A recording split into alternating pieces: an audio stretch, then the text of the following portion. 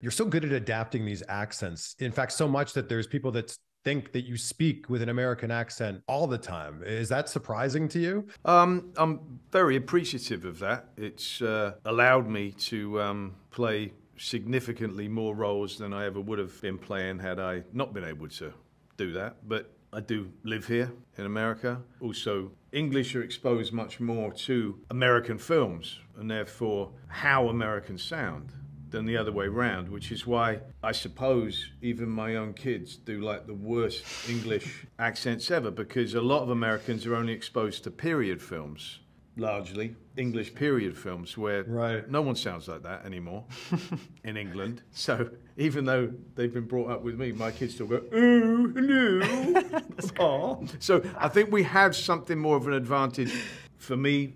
I'll speak for myself. Growing up in England, watching American movies,